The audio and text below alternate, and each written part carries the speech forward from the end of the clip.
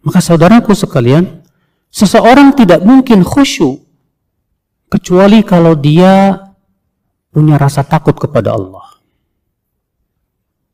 Karena khusyuknya kita di dalam sholat, Pak, mengikuti rasa takut kita kepada Allah Subhanahu wa taala.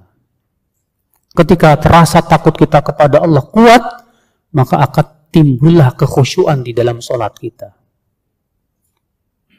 Khusyuk di dalam sholat, Pak, mengikuti pembesaran hati kita kepada Allah Subhanahu wa taala.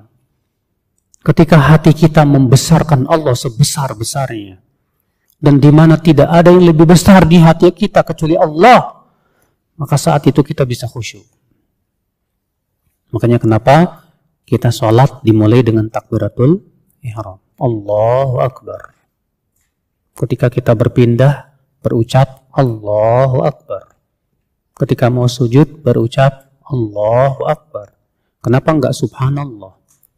Kenapa enggak la ilaha illallah? Kenapa enggak alhamdulillah? Kata yang Imam Ibn Qayyim, hikmahnya adalah ketika hati hanya membesarkan Allah dan yang terbesar di hati kita hanya Allah, saat itu kita akan bisa khusyuk.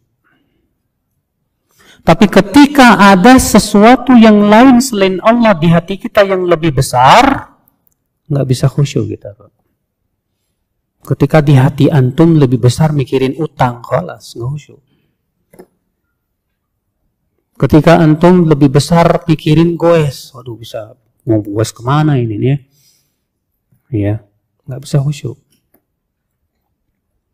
Ketika yang lebih besar di hati antum ada urusan dunia, nggak bisa khusyuk. Tapi ketika Allah yang lebih besar di hati antum, maka antum bisa khusyuk.